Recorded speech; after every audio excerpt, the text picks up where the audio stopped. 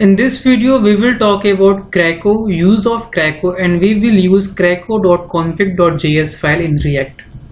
Simply CRACO is used to override the configuration files of React. Its full form is create React app configuration override. Let's understand it with the help of example with the practical. Open your command prompt and give the command to create one React app and press enter. After creating your project, just open your project in the editor. Like this. As we have installed react now we have to install craco to use it. To install craco give the command npm i at the rate craco slash craco hyphen force. I will give the blog link in the description of this video from which you can copy that all the code and commands. Give the command terminal to install craco press enter.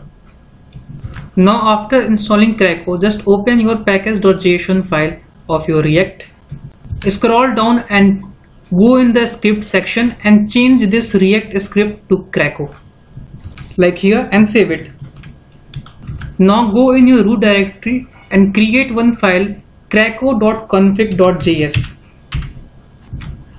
in this file we will write the code to override the configuration of the react. What we are going to do is that normally when you run the react server then automatically it goes on the port 8000 so we will write here the code in this file so that it will went to 8001 or any port other than 8000 for that just go on this website link and copy this code from here. In this I have mentioned that it will go on the port 8001 so using this file you can override the configuration of the react and you can change the configuration without ejecting react script config.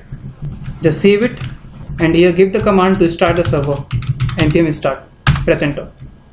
As you can see it is started on 8001 port. As hope you understand this video and don't forget to go on this blog to understand more. Thank you for watching